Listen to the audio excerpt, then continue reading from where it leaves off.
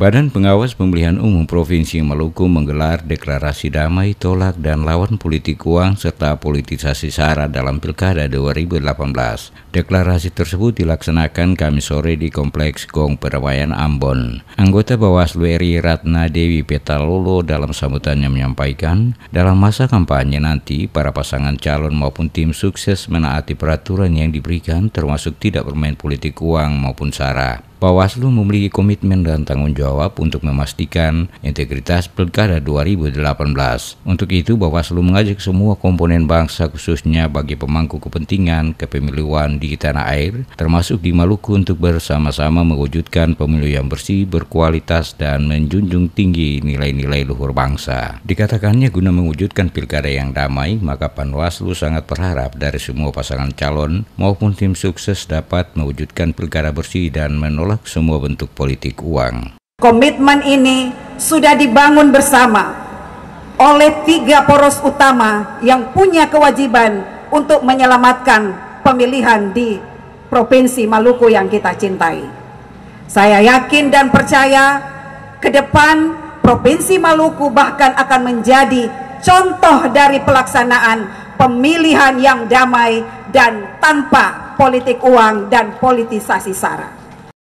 Sementara itu, Ketua DPRD Provinsi Maluku Edwin Huai dalam sambutannya mengatakan, Salam Sarani di Maluku adalah satu dan tidak mempertentangkan suku, agama, serta dari golongan mana pun, namun semua adalah saudara. Oleh karena itu, selaku Ketua DPRD Maluku mewakili seluruh masyarakat Maluku menyatakan sikap menolak semua bentuk politisasi yang berbau sara di bumi raja-raja. Dia mengatakan politik uang dan politisasi SARA adalah hambatan dalam mewujudkan pilkada yang berkualitas. Menurutnya, semua elemen bangsa terkhusus di Maluku yang terlibat dalam kepemiluan harus menyatakan perlawanan pada politik uang, karena praktik politik uang menciptakan potensi tindakan korupsi dalam penyelenggaraan pemerintah daerah. Salam Sarani adalah orang Maluku, tidak berbeda. Orang Maluku tidak mempertentangkan dari suku mana, agama apa, golongan mana, ras apa. Orang Maluku itu tidak sedarah, tapi basudara. Karena itu, politisasi SARA kami tolak di bumi Maluku. Hidup orang basudara di Maluku sangat baik dan bertoleran.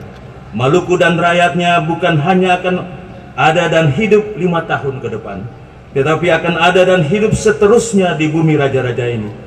Kami tidak ingin kondisi ini dihancurkan oleh kepentingan sesaat pilkada. Karena itu, kami rakyat Maluku mengingatkan kepada para pasangan calon, partai politik pendukung, tim pemenangan dan seluruh simpatisannya untuk tidak melakukan politik uang, politik fitnah, melakukan kampanye berbau sara, melakukan ujaran kebencian dalam proses pilkada serentak di Provinsi Maluku tahun 2018. Hal ini diharapkan menjadi komitmen bersama seluruh unsur yang terlibat dalam penyelenggaraan pilkada, baik pada tingkat kabupaten kota maupun provinsi, sehingga menghasilkan pilkada yang aman, damai, serta berkualitas. Seperti diketahui sebelumnya Bawaslu mencatat tujuh daerah yang rawan melakukan praktik politik uang. Dari ketujuh daerah yang rawan tersebut di antaranya adalah Sumatera Utara, Sumatera Selatan, Lampung, Nusa Tenggara Barat, Kalimantan Barat, Sulawesi Tenggara, dan Sulawesi Selatan. Adapun potensi penggunaan SARA berdasarkan hasil pemetaan Bawaslu terjadi di beberapa provinsi yaitu Sumatera Utara, Sumatera Selatan, Nusa Tenggara Barat, Kalimantan Barat, Kalimantan Timur, Maluku, Maluku Utara, dan Papua.